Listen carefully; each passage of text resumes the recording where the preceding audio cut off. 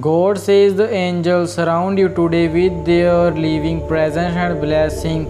May their ethereal wing enfold you, bringing comfort, peace, and protection to your soul. God says the angel of courage be by your side, giving you strength to face any challenges that come your way. May their unwavering support embolden you to step out of your comfort zone and pursue your dream fearlessly.